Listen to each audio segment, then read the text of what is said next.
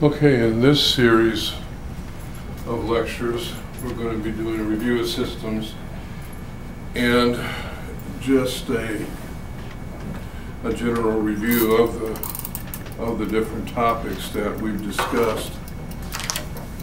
Kind of just going systematically, system by system by system, topic by topic. So, as far as neurological, you know, um, you want to be acutely identifying changes in mental status. As a person is alert and they start to slip away, the next level that in the in the downward progression of alertness that they'll go to is they will only respond to verbal stimuli. Okay. Um, as they progress further, then of course they will only respond to painful stimuli, and then finally they'll be in a, in a coma. Um, you may or may not see this different type of posturing, but as neurologically as the brain is, is, is virtually shutting down, sometimes, and not all the times, but sometimes you'll see different types of posturing. You will see one like this, where um, it's called decorticate posturing. Fists are, are made, uh, arms are, are up against their chest and, and flexed in a way like this. And as the brainstem starts to slow and slow and slow and cease in function, especially when the lower brainstem uh, is and death is nearing, a lot of times you'll see them go from a decorticate posturing to a decerebrate, decerebrate posturing, where they open up, the hands open up, the arms extend and open up. That can be a sign that uh, the brainstem, which controls the vital signs, okay, uh, is is starting to, to basically cease in its function. So things like this you want to be acutely aware of. Um, confusion can happen sometimes because of dehydration, sometimes because of pain, sometimes because of sleep deprivation, uh, even medications. Pulmonary medications seem to be one of the more culprit meds that, that cause folks to be confusion. Narcotics do also, of course. You know, so if you have a, a client that's taking a lot of narcs, confusion even to the point of hallucination, uh, can be an issue. Like with all meds,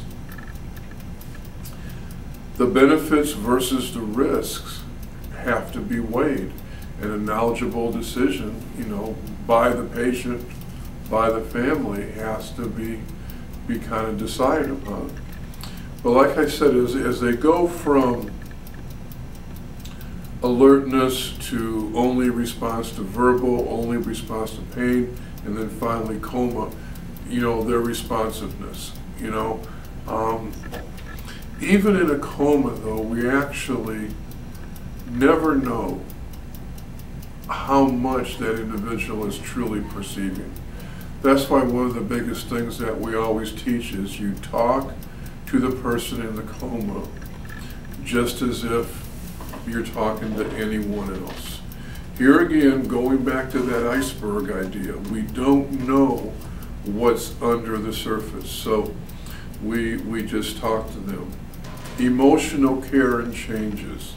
You know, as a person goes through denial, anger, bargaining, depression, acceptance, their emotions are going to change. Families will go through these stages also.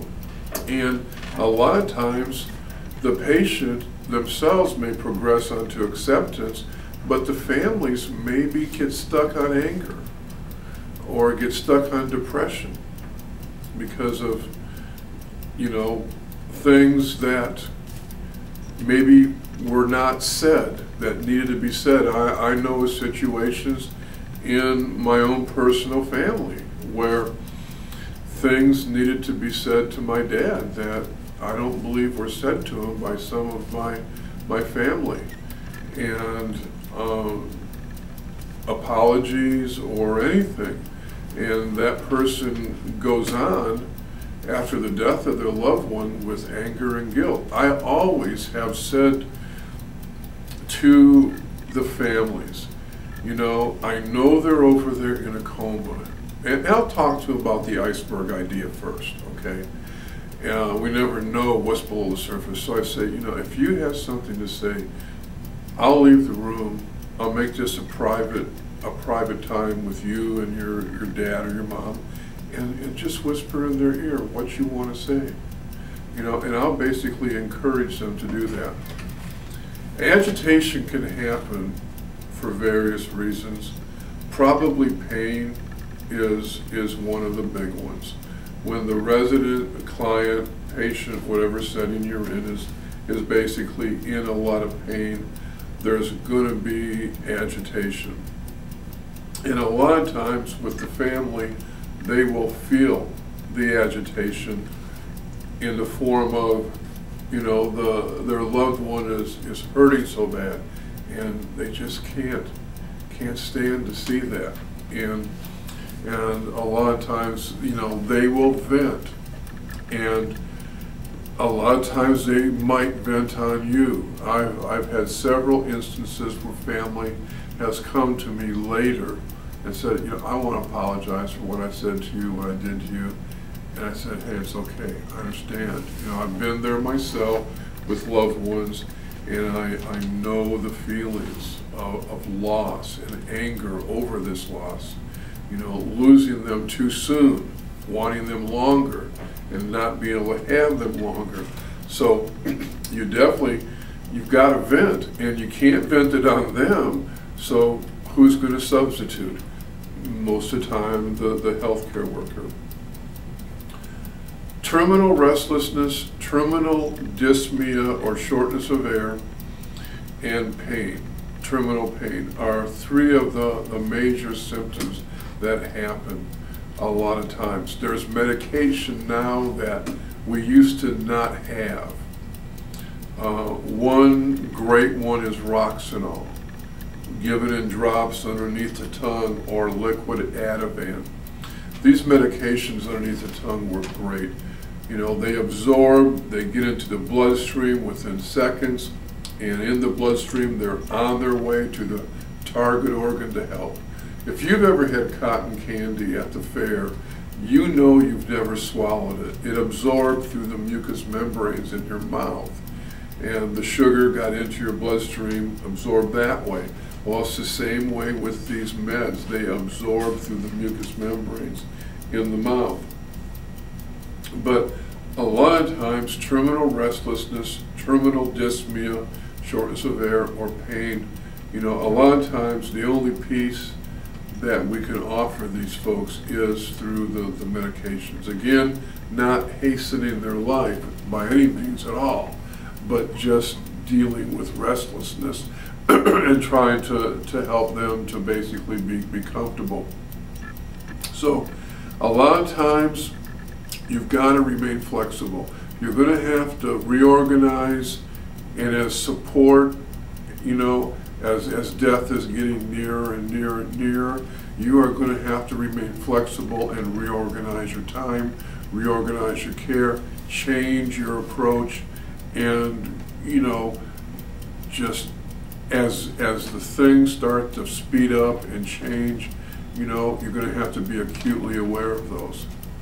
Cardiac, uh, you will see changes in blood pressure and changes in pulse a lot of times when the when the when the um, blood pressure is going down, uh, the pulse will go up. It, it'll do an inverse.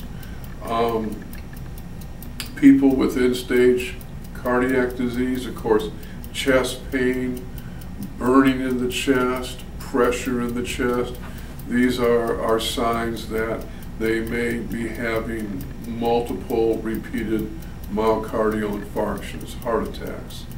You know, so the cardinal signs, of course, of an MI is the chest pain, the burning in the chest, the pressure, the left arm, left jaw pain, profuse sweating, and, and nausea.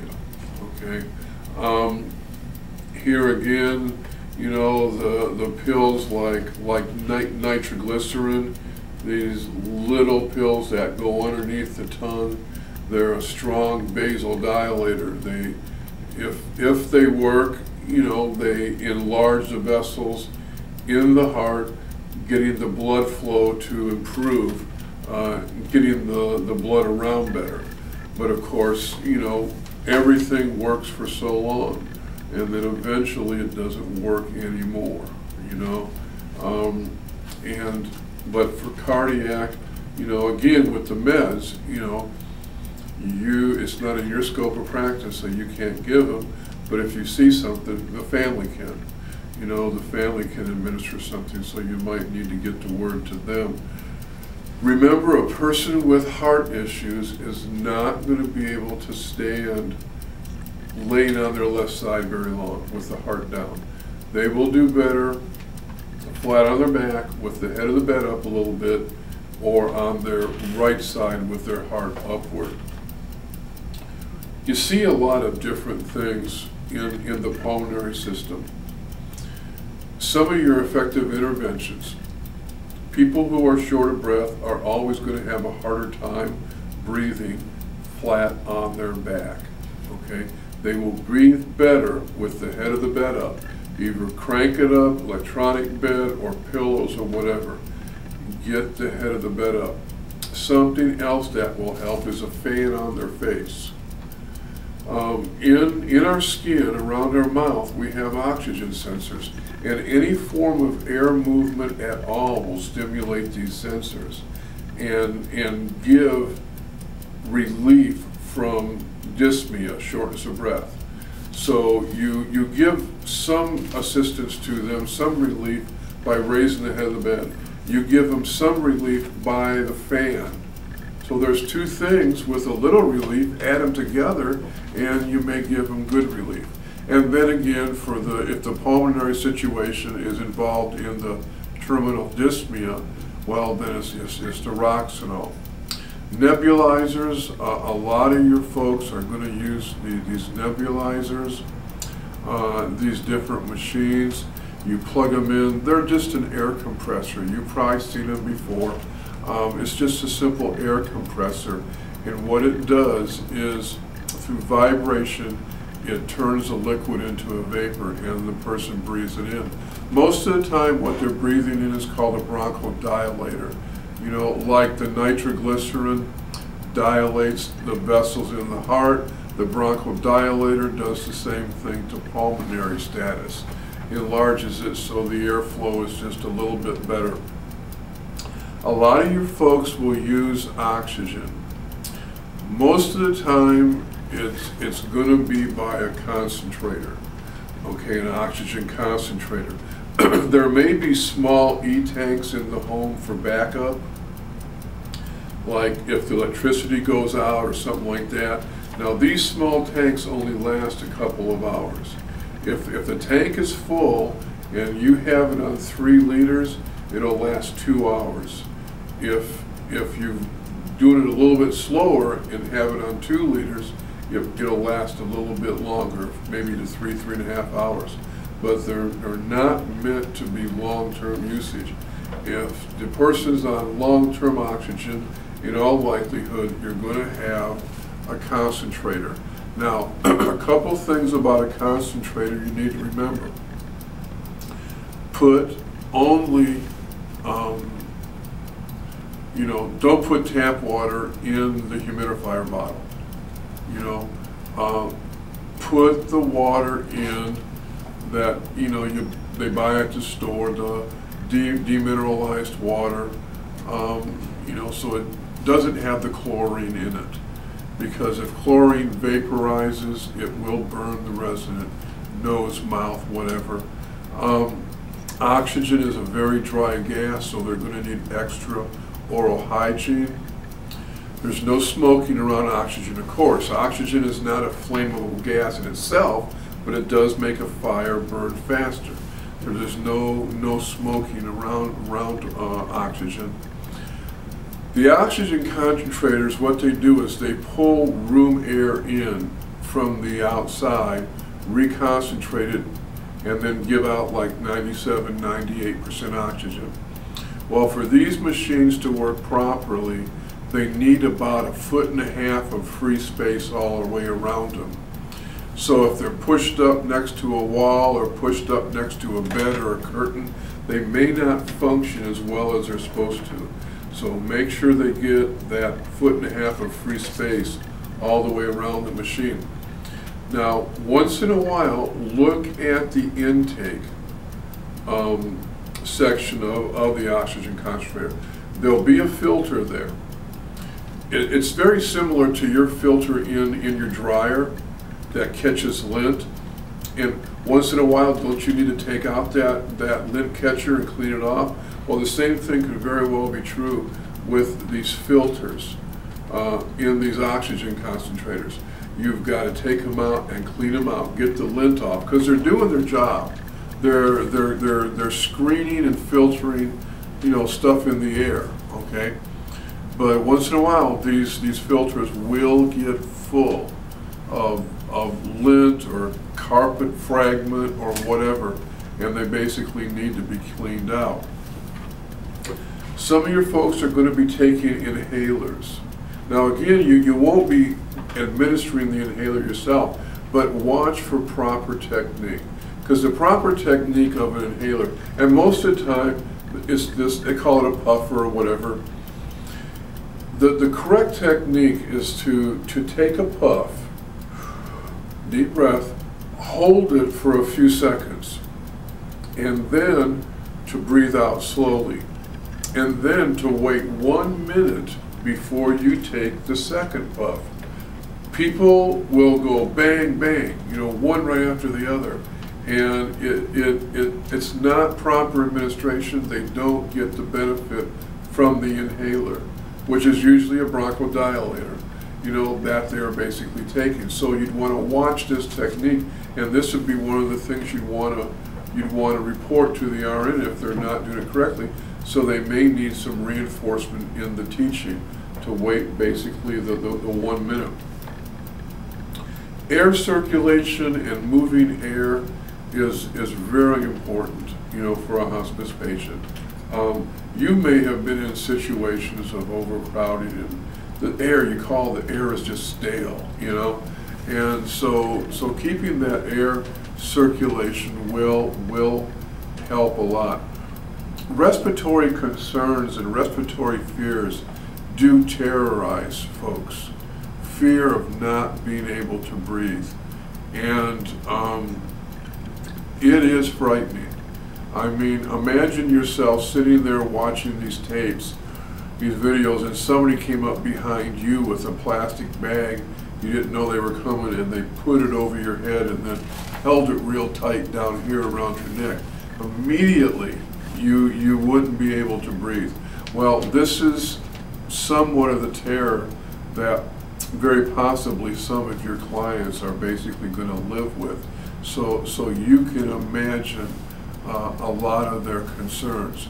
And a lot of times as death comes, they start these Cheyne-Stokes respirations of stopping and starting and slowing up. And, you know, uh, a lot of times here again, not, not hastening the person's death in any way, but comfort, you know, a lot of times the only peace that we can offer is, is through chemicals.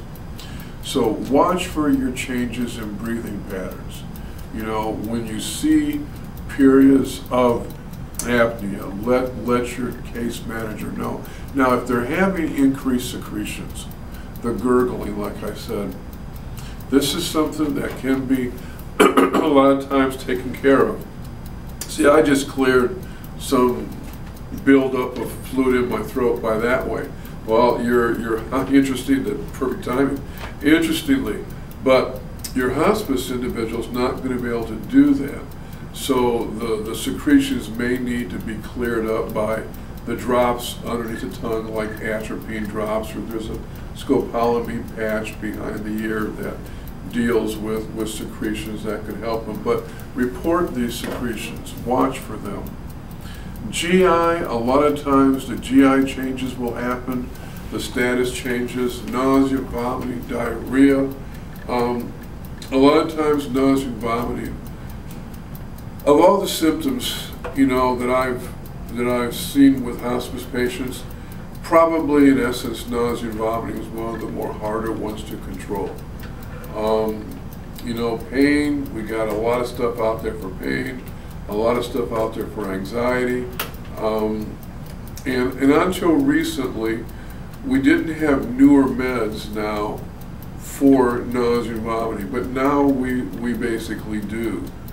You know, some of, you know, the Zofran, you know, where in times past it was Tigan and Compazine, but this can help a person a lot with the nausea and vomiting.